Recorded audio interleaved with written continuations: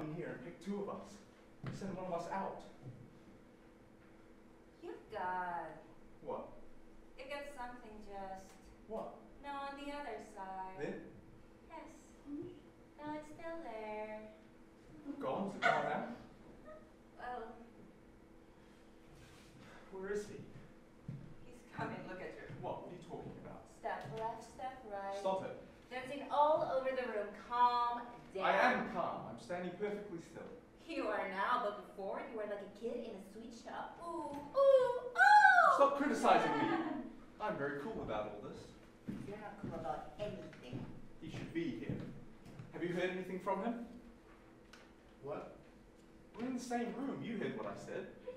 So why would you just say what? What? what? I could hit you sometimes.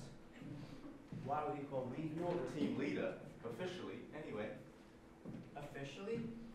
Ooh, ouch! I'm offended. No, he knows the time of meeting, so why would he call? He's always on time. He knows we'll be here.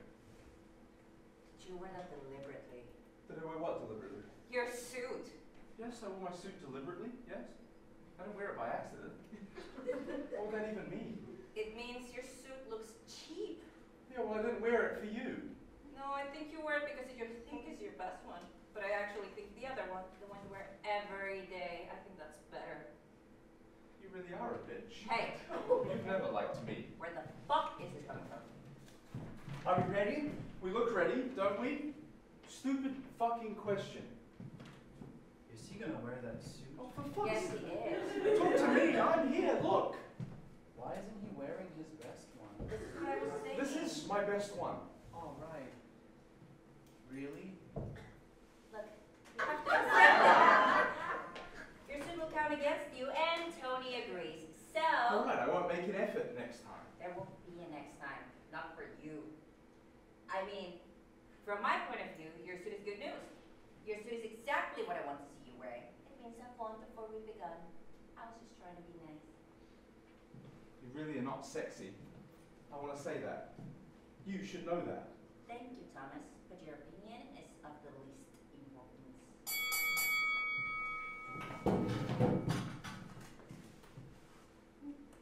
Where were you born? Why do you want to know? Why are you so cagey?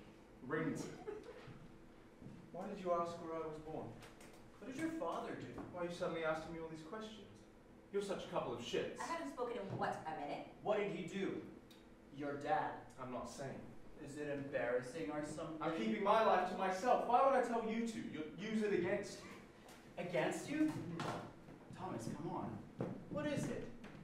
Jesus, we're just making conversation. We're just talking. It's a nice thing for us to do. This is what I was saying. You take everything so seriously. I mean, we could just sit in silence if you'd rather. He was a math teacher. what? A math teacher? What did yours do? He's a surgeon. What?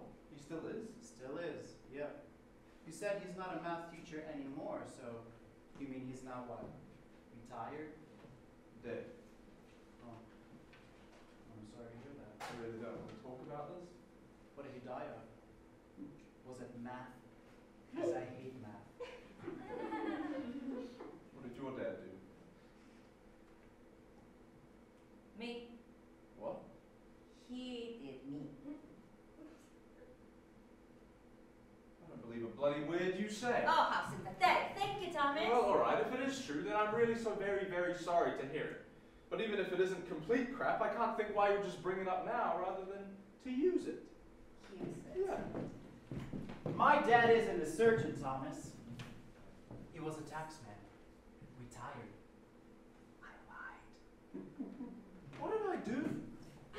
There must have been a day ages ago when I did something to you two that pissed you off. No, And after that, you decided to make my life. no, there was never a day like that.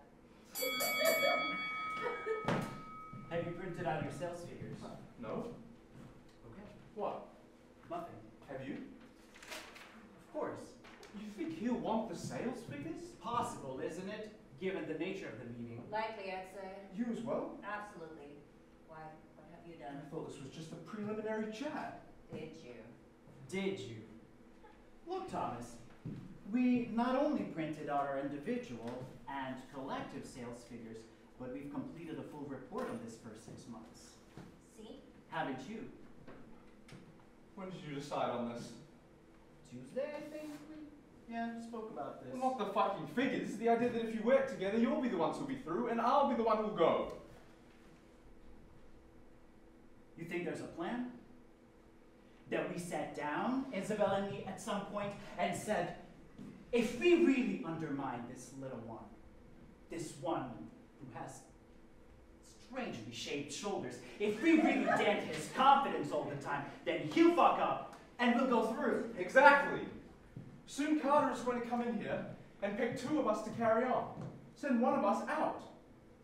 You're not staying here in your job. You don't know that. Do you want to know what we both know, Thomas? Do you want to know what we both know?